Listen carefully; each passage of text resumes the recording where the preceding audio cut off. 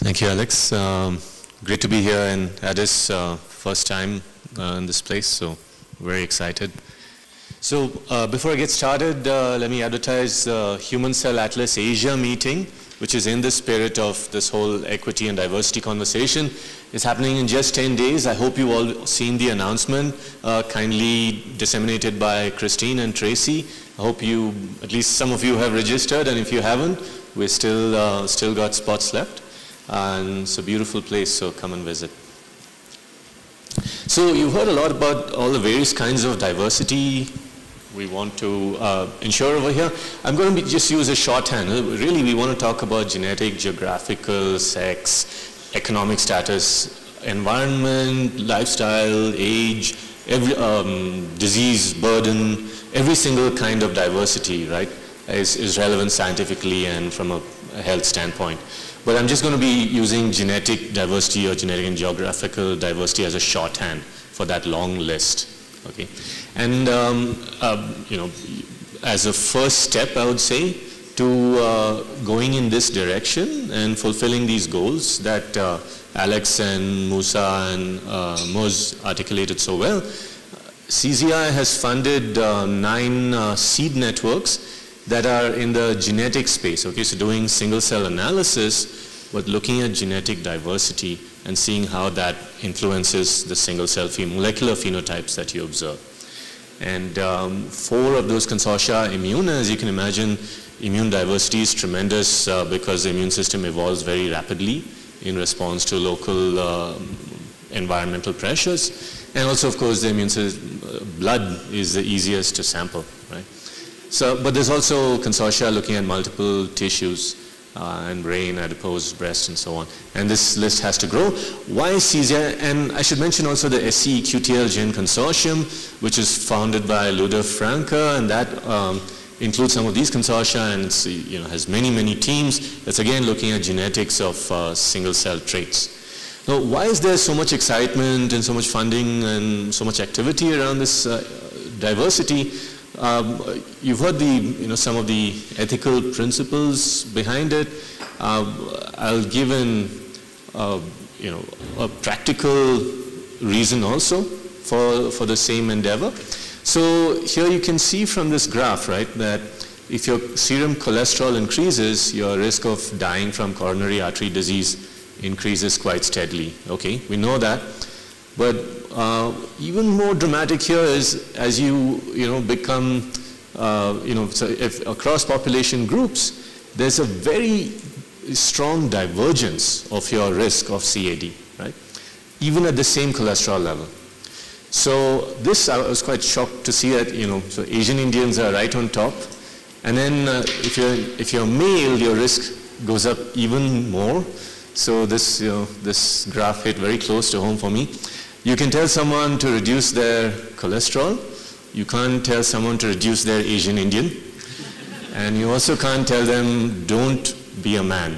Okay? So, uh, and uh, Sarah Tishkoff has made this point quite well also. Uh, if you can look at risk of hypertension, risk of diabetes, it really varies by population group and genetic background and so on. So um, there's a strong need for this kind of research. But then if you look at the genomic databases, uh, and this is gnomAD, so this is genetic sequence variants, there's a strong overrepresentation of Europeans and then other population groups are underrepresented in our genetic, genetic databases. If you look at GTEx, which looks at uh, genetic variants that influence gene expression, again, eh, there's a bias, right, in the population that have been profiled. And uh, so what happens if you have this kind of bias in your data and in your science? So firstly, you can't really understand the architecture, the genetic architecture of the disease you're studying if you're looking at only a narrow slice of humanity. There's a lot more disease biology you can learn from genetics and otherwise if you look at a much larger, more representative population, right? And then science, know, healthcare follows science. If the science is narrow and biased, then the healthcare is also biased, and then that creates inequalities in healthcare. Okay, and then uh, worst case scenario, you may diagnose somebody wrong. You might say aha, I see this variant in you, in your DNA, and uh, I've never seen it before. This probably, and it's in this interesting gene, it's probably pathogenic, and then you start to treat it, but you don't realize that, yeah, that's a disease gene, but in this particular population group, that variant is common, and it's actually not in contributing to the disease in any way, right? So lots of practical problems, I would say, with the um, uh, lack of diversity in current um, omics studies. And so to address this, I, I won't talk about all of the um, seed networks that CZI has funded. So I have some slides from Sarah Tishkoff. I, will just give a few examples. Sarah, uh, so Sarah's profiling uh, single cell phenotypes in uh, across you know a wide range of uh, locations in sub-Saharan Africa and a number of language groups as well. And uh, her aims are really to look at genomic and epigenomic variation that contributes, genetic variation and epigenomic variation that contributes to differences in immune response uh, to lipopolysaccharides and, and so on uh, within a population and across populations. And so she'll be generating around, um, I, I, think, 300 single-cell RNA-seq data sets and a number of single-cell ATAC-seq data sets as well. So uh, Jimmy in uh, UCSF, Jimmy E, is uh, leading another seed network, and that is uh, based uh, sampling in uh, San Francisco and Colombia. And that's also a very large effort. Now, these are uh, ethnically diverse locations of the US, uh, so he can actually sample multiple population groups sitting in one city, right? So that's, that's a real advantage. And uh, one aim is to look at healthy donors, 400 samples across these population groups, and also genotyping. I should say all of these consortia will have to genotype the individuals that they sample, in addition to looking at single cell phenotypes. And his second aim is to look at all kinds of variation, diurnal variation, seasonal variation, menstrual cycle variation, uh, aging, and so on. And that's another 500 samples. So all of this, so Sarah's uh, uh, study uh, is from PBMCs, peripheral blood mononuclear cells, and so is Jimmy's. And um, so what about Asians? Okay, I've told you about one effort in Africa, one effort in the USA. Uh, show this figure again, the GTEx, gene expression, genetics data. This is all bulk, okay? This is not single cell. Very biased, and if you look at Asians, there are only 1.1% of samples in this population, in this um, study, right? Or in this consortium. Uh, and even those 1%, my guess is, although I don't know this for a fact, they were sampled in the West or in, in the US. And so they may not, they, it's possible that they are, you know, biased in their economic status and their educational status, so they may not represent all of the diversity you see in Asia, right, even that 1.1%. So uh, clearly an urgent need, and that's the impetus for AIDA, the Asian Immune Diversity Atlas, which is uh, again funded by CZI and just in the pilot phase right now.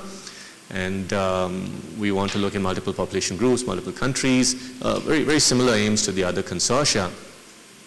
And uh, the team is quite diverse, so we're very happy with that. It's multiple countries, and uh, we have clinicians, we have genomics uh, experts, we have uh, computational biologists in the team already.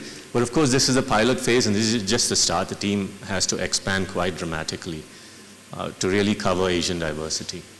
So what are we doing in this pilot phase? So um, uh, Woong-Yang Park will profile Korean samples in Seoul.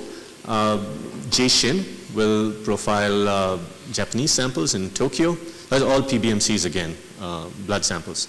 In Singapore, we have a unique advantage. It's a multi-ethnic population, so we'll be sampling Malays, Indians, Chinese, all in the same lab in the same city. And of course, that immediately brings up the question of, are there, will there be lab-specific effects, technical effects that will confound all of our studies? So we think we're looking at Japanese versus, say, Singaporean differences, but actually we're just looking at Jay's lab versus our lab differences. That would be devastating. So to address those lab-specific differences, all three sites are profiling a common control. So these are common control samples that we can purchase from uh, you know, one single source and single set of individuals. And uh, expanding beyond this is Singapore, Korea, Japan. We um, talking to Partha, in fact, just started yesterday. about including Indian samples. So this will be fascinating. Indian samples in Singapore, Indian samples across diverse geographical locations in India and look at you know, environmental differences. And of course then we have to add you know, Malay samples from Malaysia and Chinese samples from all over China. Uh, we're in talks to add uh, you know, collaborators in Sri Lanka and um, you know, a lot more, a lot more to do and I hope that some of you who, who are here in that meeting will fit in this slot and come and join our effort. So uh, I've talked about healthy PBMCs so far, but in Asian science, there's a very strong emphasis on understanding disease and translational research, so you really can't ignore that. And so as an initial step, we're looking at colorectal cancer, uh, tumor versus normal, and we collab. So this is all data from Singapore, but we're collaborating with Woong-Yang Park in uh, Seoul, and also Sabine in Belgium, to, uh, and who are also profiling their own cohorts. Uh, and you can see here this classic UMAP plot showing, you know, each color shows one cell type and each dot is a cell over here. You can see here that cells of different types can be nicely segregated. But these are just the major cell types, okay? So um, I, have shown you just a brief snapshot. There's a lot more going on in uh, HCA Asia and also diversity in general. But uh, I don't want to overlook methodology. And um, if any one of you wants to get into this space, you, I'm sure you'll have a lot of questions about how do we go about this or that. And um, it's really important to disseminate the methodology as widely as possible. So uh, one thing is kind of an industry standard now, I would say, methodology-wise, is something Jimmy was a pioneer of, is what he calls mux-seq, okay? So if you want to profile samples from multiple individuals and you want to reduce batch effects, just pool the cells from say 10 or 15 individuals into one pool and then profile them using you know, your favorite single-cell RNA-seq technology. And then bioinformatically you can say, okay, this cell has these uh, genetic variants, so it came from individual one. This cell has these individual genetic variants, it came from individual three, and so on. So you can bioinformatically decode which of those 16 individuals that cell came from. And then, so you have, you know, dramatically reduced batch effects and reduced uh, cost in purchasing reagents. So this is very exciting and a lot of the consortia in this space are using Jimmy's methods now, as are we. Uh, computational methods are very important also. And here I'll put in a plug for a method we developed that's good at identifying rare cell types in the, in the presence of batch effects, okay, which is very important in this kind of uh, consortia. So this is a figure where you can see each column is a cell.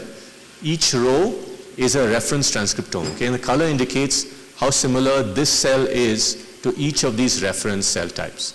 And you can see here that in this reference space, you can cluster these cells very easily, okay. This clump of cells, they uh, uh, all have high similarity to this fourth row, which is, um, you know, B naive cells and uh, low similarity to all other cell types. So these are probably B naive cells, these dark blue cells, right?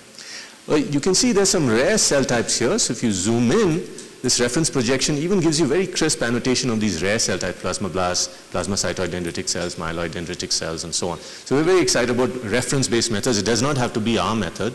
Uh, there's scmap and SingleR and all that. So, but reference-based methods for annotating rare cell types in the presence of batch effects. Once you've identified these cell types, what you want to do is identify subtypes, okay? So there are four B cell subtypes here. Can we see all of them in the data? Maybe there are more subtypes we can discover. Can you discover T cell subtypes and so on in the data? So you pull out each of these clusters and then do de novo clustering. And for that, what's really important is you want to say, which are the marker genes that will tell me the differences between these cell subtypes? Now it's kind of circular. You usually only know the marker genes after you've defined the cell types and done your differential expression analysis. But there are algorithms for guessing those marker genes in advance, okay? And so we've come up with one such algorithm called DUBStepR. I won't tell you what the full form is. Um, and we benchmarked it against a number of other feature selection or marker gene prediction algorithms and it seems to do quite robustly regardless of how many marker or feature genes you select for your clustering. And it's also very useful. So epigenomic single cell profiling is becoming bigger and bigger. So DUBStepR is quite useful also. It can be applied even to epigenomic data sets, single cell ATAC-seq data sets, and your traditional methods for feature selection don't work too well on that kind of data because it's very sparse. So to summarize, single cell analysis solely needs, for many, many reasons, it needs genetic diversity, sex diversity, geographical environment, age, um, environmental, environmental exposure, all kinds of diversity. We need new methodology for data analysis. I've shown you some of them, but there's many algorithms that don't even exist right now that need to be developed for a single cell, when you have genetic single cell data, right? It's a new data type. And then in the next phase, of course, uh, beyond this pilot, we need to bring in many more countries, and then from each country, you need to increase the diversity of cohorts, and this is all starting health with healthy samples, so we want to compare with disease as well, as I mentioned, to see what, really use these as a reference for the pathology, the molecular pathology that you see in any particular sample. And uh, so thank you all for um, coming here and thank you to all of you in advance for joining our consortium. Thanks to CZI and the funders for making this possible and thanks um, Alex, Musa, Balta for organizing this.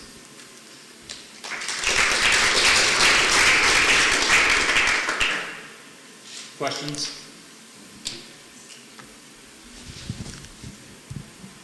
Um, so for Sarah Tishkoff's one on the African immune cells, um, and maybe I'm, I'm, not sure if I missed this, but do you know to what extent she's actually involving African researchers in doing that analysis and, and doing the actual work? Yeah, I hesitate to answer for her. Uh, so, um, I, okay, I, I, I, won't guess. I, I presume she is. I just say that. But I, I, so Sarah's been working on genetics in Africa for a very, very long time. And as you probably know, she's one of the pioneers in that field. Uh, so, you know, I, I, would really presume that there is a participation. And that comes to uh, one of the equity points that have been brought up before, right? You don't, uh, you want to involve the people in, in the communities where you're doing the research in the research and make them, uh, you know, met data generators as well or participants in the study, not, not just subjects. I'll, I'll, just say from having spoken to Sarah on the phone about this that she would like to include as many African researchers as is possible in doing this work. I can't give you the exact number that are involved right now, um, but she's very in, interested in how we can uh, get more people engaged and uh, increase education and participation in Africa. Uh, uh great talk. One want to find out from you, for instance, your selection of Asian population. Just want to find out how much effort you made in kind of in the process of selecting your population to avoid, you know, I mean, the whole issue of admixtures among those populations because that has like a direct effect on you, you know, and in your single cells. So so how much effort, I mean, in terms of really selecting your population and avoid, I mean, because we know that definitely among those populations that you selected, there should be like strong admixture. How do you want to do, deal with that issue where we deal with like homogeneous populations and avoiding Excellent. issues? Excellent question. Uh, so the Indian population is strongly admixed. The um, uh, populations in Singapore are admixed. There's this concept of a Peranakan community that's admixed between uh, Malays and Chinese or Malays and Indians. And so we don't, we're not trying to judge their population purity before we recruit them. Uh, mostly you just do it post facto because we are uh, doing genetic uh, profiling also. We run genotyping chips on them and we let the data tell us where they lie in the so-called pure versus admixed spectrum. And we really, we want to profile everyone. We don't want to only profile pure populations. Um, so my name is Jennifer Mabuka. I am a um, program manager at the African Academy of Sciences. So, um, uh, I mean, excellent talks, excellent science going on. Um, but I think for me, so far what I've, I've seen is more of participation equity. And for me, that's equity is still not complete until we talk about benefit equity. And, um, you know, what, what science has been done on the continent previously and we still haven't seen enough benefit coming back to the continent. So I'm just wondering whether there is an opportunity for HCA to do something different at this point.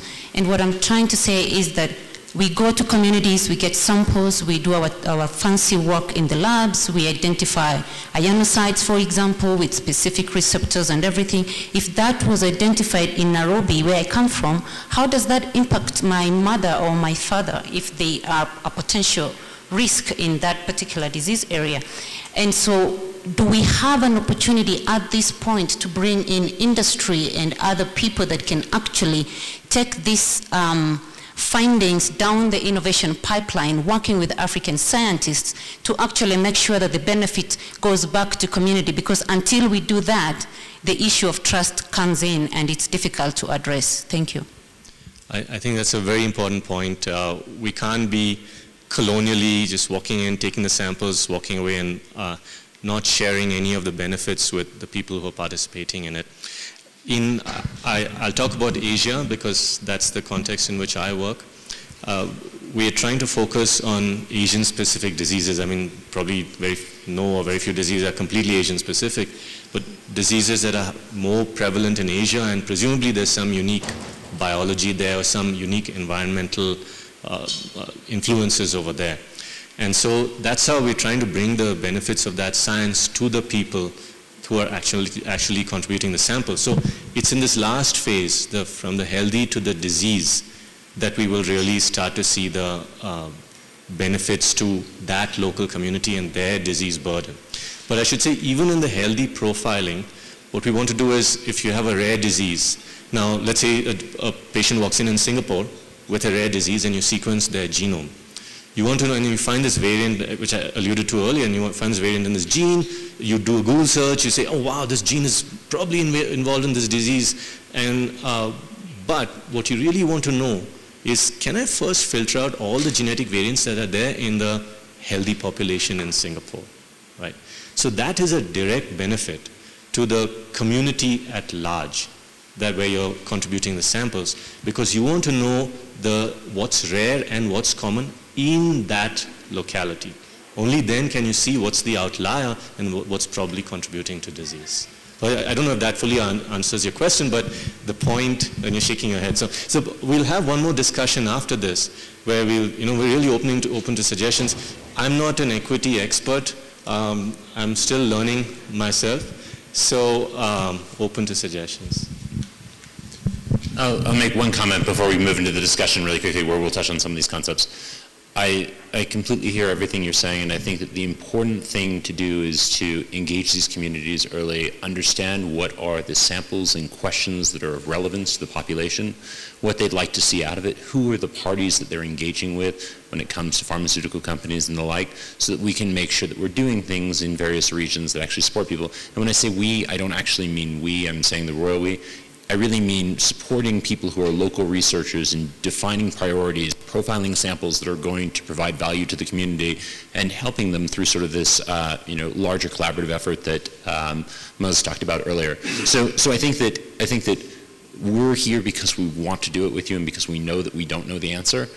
Um, I'm, I'm new to this. I'm a chemist, physicist, and mathematician, so I, I really am not an expert in equity, even beyond Muz, but I recognize the, the need and the opportunity, and so we'd love to get thoughts on how we can do this right and how we can make sure that there is uh, data benefit to everybody that's involved, but primarily focus on the people who are generating the data and who are doing it first in their community and then thinking about how it extends out.